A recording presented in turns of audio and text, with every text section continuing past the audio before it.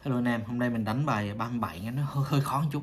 Nó hơi khó, kỹ thuật nó hơi bị dễ dễ làm khó chịu lắm. Thì nó 24 uh, ờ, đô trưởng thôi mà không có gì hết Thì mình cũng chạy chút. À, bảy à. Nó đánh dòng trên đây thôi à, không có cần nhiều. Tới chạy luôn chút nha bạn nha, đô thứ.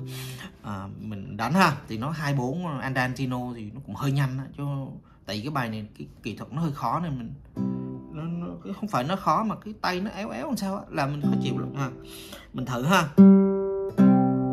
Mình đánh hơi chậm chậm chậm thiệt chậm nha.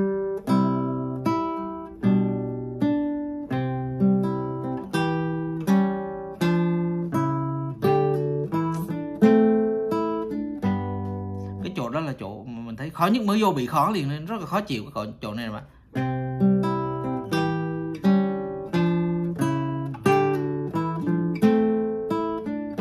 à thế nè nó nó nó đang trên đây mà cái ngón này là ngón yếu mình phải bỏ xuống đây. À, bỏ hai ngón này vô cùng lúc ngay chỗ này nó mời à. À.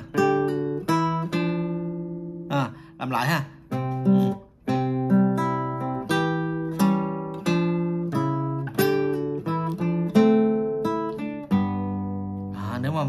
Được cái đó là mình mình thoát được các bạn, là mình đánh được, gần đánh được bạn này rồi. Mất mình mất mình 15 phút mới đánh được như vậy người là chưa hay lắm nhưng mà ít ra nó cũng thoát ra khỏi nó. Là mình đánh lại đánh lại một lần nữa ha. Thì chậm ha. Trong này nó ghi là 2 với 4 thì mình cũng bấm 2 với 4 mình cứ tập y hệt như ổng đi sao? À này nó kêu mình đánh 4 thì chỗ này mình bắt buộc phải đánh vậy, để cho cái ngón này nó lòi ở đây, mình làm được ha. Nè. Ừ,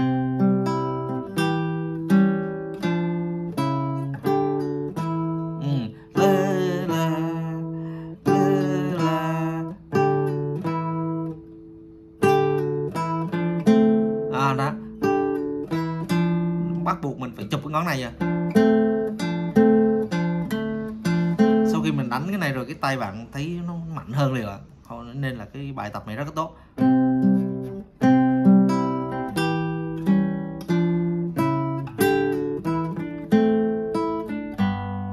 À ha. Cái lúc nãy mình bấm chỗ này nó không có vô nè, làm lại ha.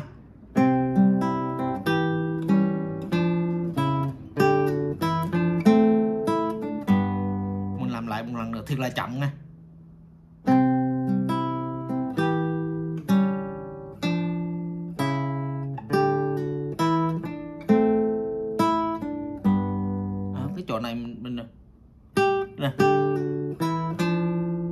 Tập đó bạn. Mình trước khi mình đánh cái đó mình phải để út ra trước tại vì cái chỗ khoảng cách này nó hơi xa này khó, khó đánh lắm.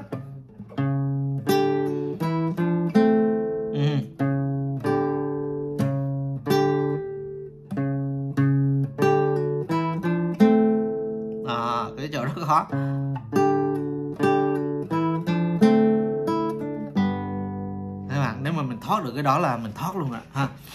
À thì tiếp theo ha. À, xong ta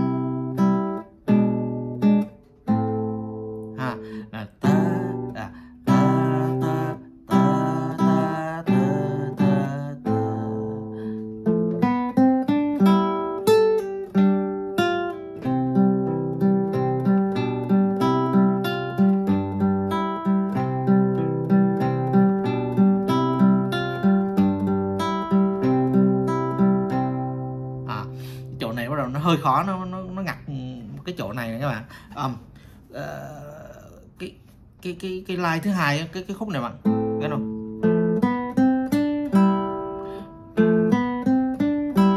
đây là mình thả ra luôn để làm chi? Để cho cái tay mình nó nó thả lỏng á. Nên mình có cơ hội thả ra, nên thả ra bạn. Đó là cái mẹo mình lúc mình đánh mình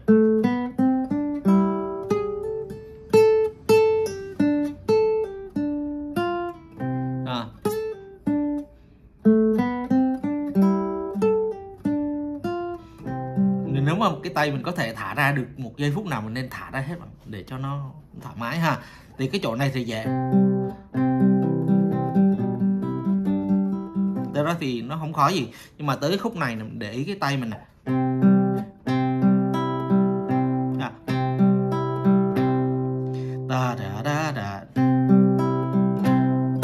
nếu mà mình đánh tình rồi mình phải xuống đây liền.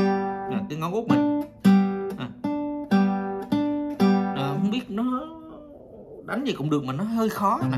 À, hoặc là mình có thể đánh như vậy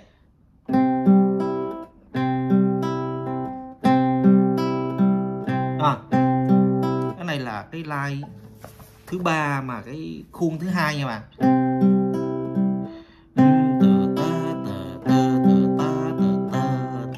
Qua đây luôn. Xong rồi mình mình mình thả ra luôn. Cái cái bản năng của mình là vậy đúng không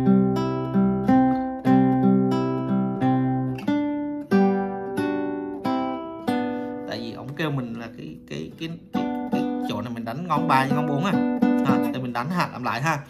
À.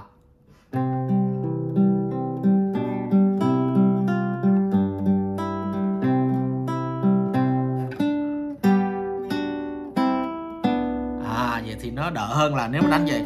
Từ đây mà giật xuống đây nó mấy người đánh rót thì họ đánh vậy mà cổ điển mình theo mình nghĩ.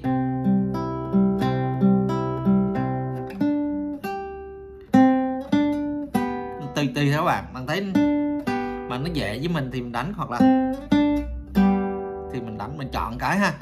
Ta ta ta ta ta ta này bấm con cái ha. À, thì cái chỗ này cũng hơi khó đánh.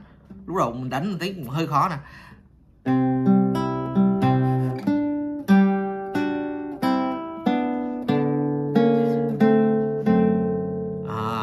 Bắt đầu vô vô lại cái cái chỗ mới ha.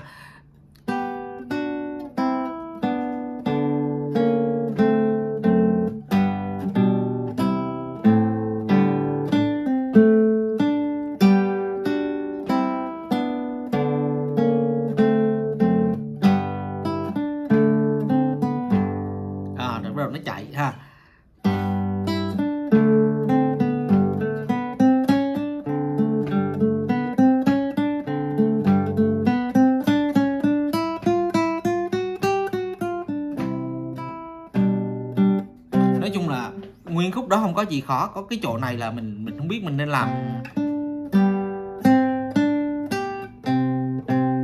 Là vậy thì nó kỳ quá.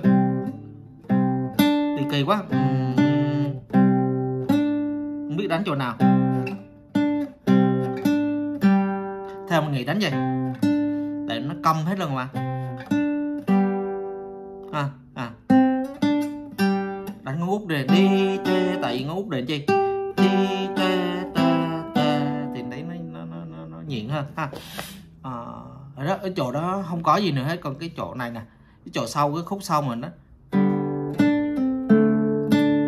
À, ta, ta, ta, ta, ta, ta, ta. à. Chỗ này rất dễ mà không biết sao giờ pháp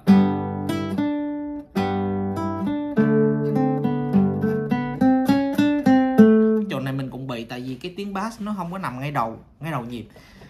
Mình bị cái tật đó rất là nhiều. Cái này nó tiếng bass ngay đầu nhịp nha. Tiếng này đầu nhịp nè. Tiếng bass nè. À cho nên cái này nó giúp cho mình cái cái ngón cái này nó tự lập ha. À, mình làm lại nha.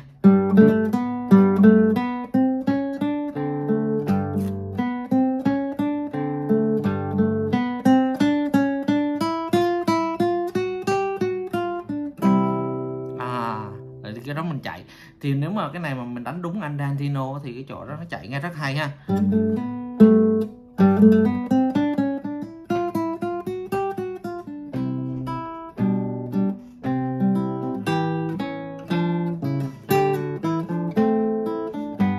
Đó cái đó nó lặp lại cái chỗ mình thấy khó nhất á.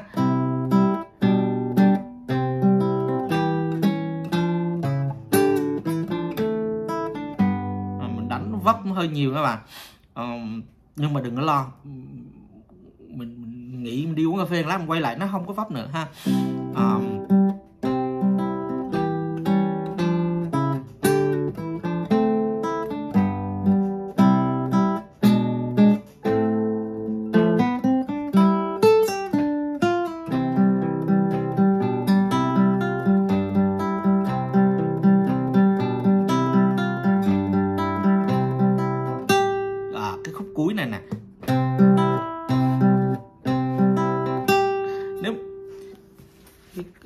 cái cuối cùng của mình để ý thấy ổng kêu mình đánh ngón 3 với ngón 4 không ngay đây nè. À thì nếu mà mình bấm ngón ngón son này dưới ngón út này á, thì mình muốn đánh ngón 3 ngón 4 á, mình phải ta ta, phải nhảy ngón này. Nè đang hơi di chuyển này, hơi căng à nè. À thì bị lên không kịp.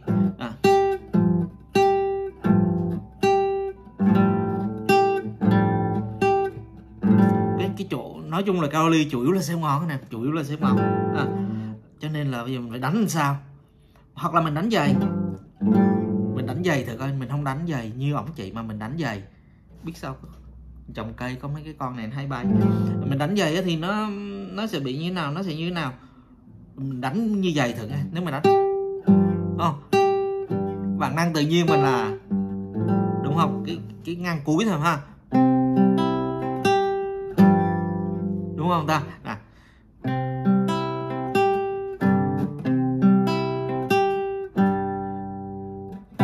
nếu nên đánh giày á, đánh giày thì cái cái cái cái, còn hai cái hai cái cái nốt cuối cùng thôi.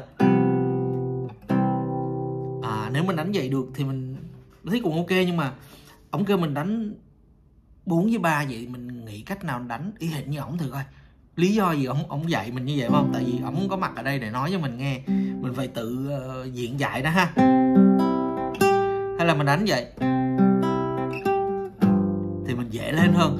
Đó là cảm giác của riêng mình thôi nè.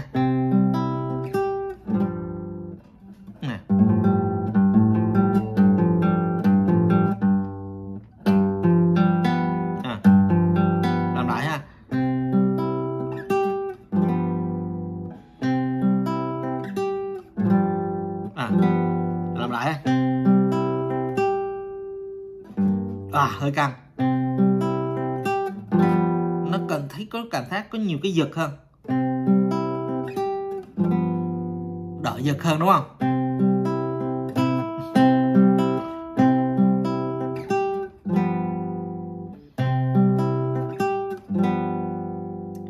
Nó thì đánh cái này ờ, đánh nhà guitar cổ điển lâu nó nó mình phải làm gì mà mình cần kiên nhẫn dữ lắm. Một cái chút xíu mình tập đi lại hoài thì cái tiếng nó mới tròn được.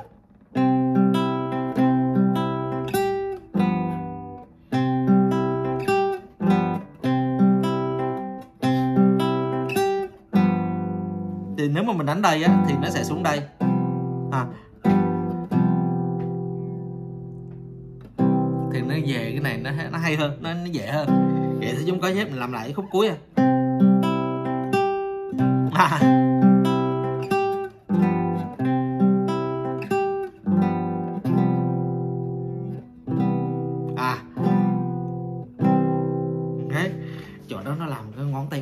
đầu như vậy thì nó rất là tốt và nó giúp mình cái cái tay mình ngon hơn chút ha. Mình làm lại chút xíu nha.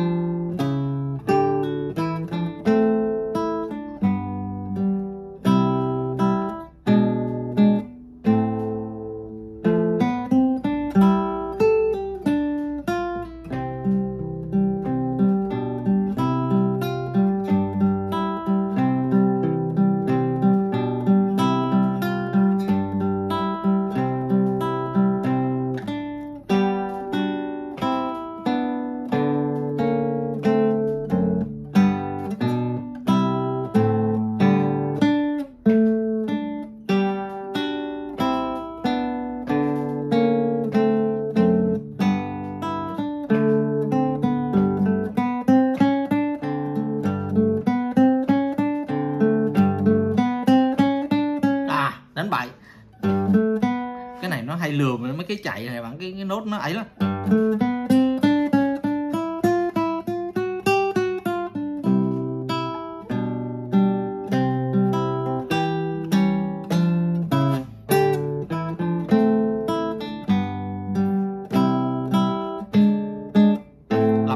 Nhưng mà có một chỗ mình thấy này mình đánh tới mình tự nhiên mình đang đánh mình nghĩ tới mình nên nói. Ở ờ, cái chỗ này nè cái chỗ à, nè nè.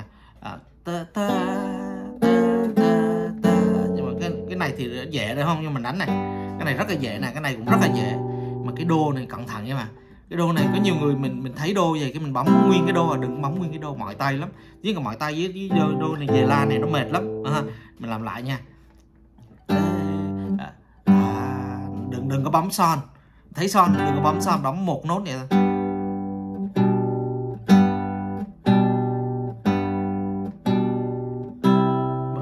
Bấm đô bấm một nốt đô thôi một ngón đô thôi. Ta nè ta ta ta ta nó dễ hơn là mình bấm nguyên nguyên nguyên cái hợp âm nha bạn. Được. Mình đánh kali hoặc là mình đệm hát như vậy nữa. Nếu mà nó không đòi hỏi mình bấm nguyên hợp âm mình đừng có bấm ha. À, mình nghe đây ha. Ta ta ta ta. Đó mình bấm rồi nè thấy không? Cái cái thói quen kỳ lắm nè.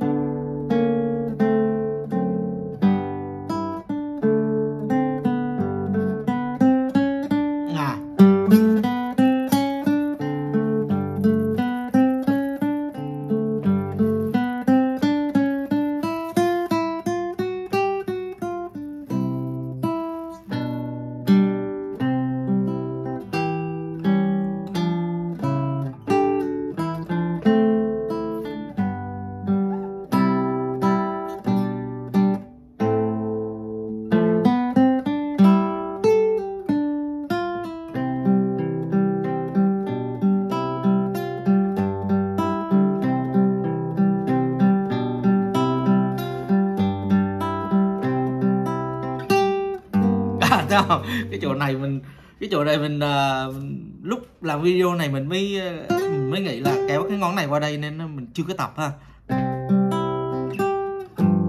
Ngầu không? Ờ, à, tê tê lúc trước mình đánh tê tê rồi mình đánh dày Đúng không? Mọi người mọi kiểu ha.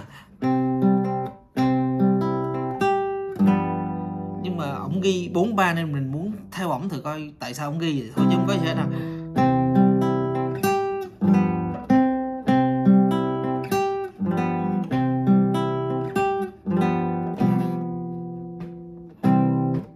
nhớ là cái uh, cái uh, cái cái hợp âm đô mà để kết á, nó ở cái nhịp lên nha bạn. Mình đừng có đánh nhịp xuống.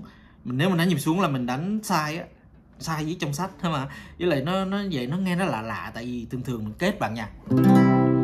Ngay cái nhịp xuống đúng không? Cái bản nhạc này nó kết lên nè. À,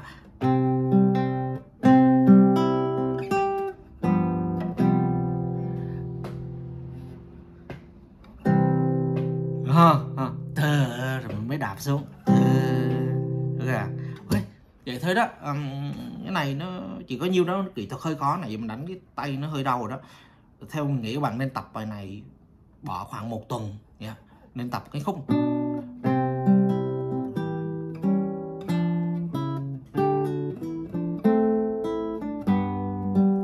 Nên tập khúc đó với cái khúc uh, cái khúc uh, khúc cuối nữa với lại khúc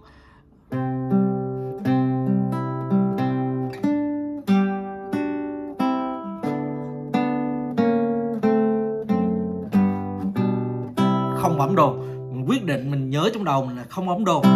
À.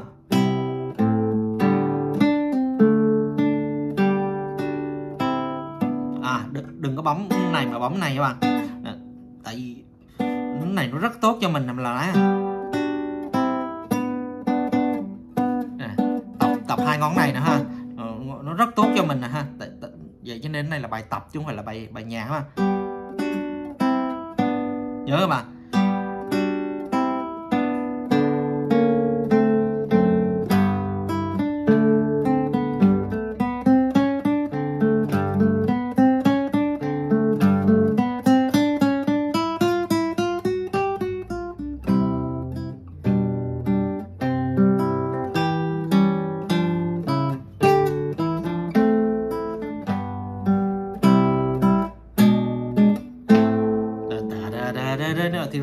Cái melody nó cũng có gì hay nhưng mà uh, thấy kỹ thuật nó hơi căng. Cho nên uh, nếu mình tập xong bạn này thì cái bạn này xong thì cái bài 38 39 40 nó cũng khó vậy đâu. Theo mình nghĩ mấy bài này thì bài 37 là bài khó nhất. Rồi cảm ơn bạn rất nhiều.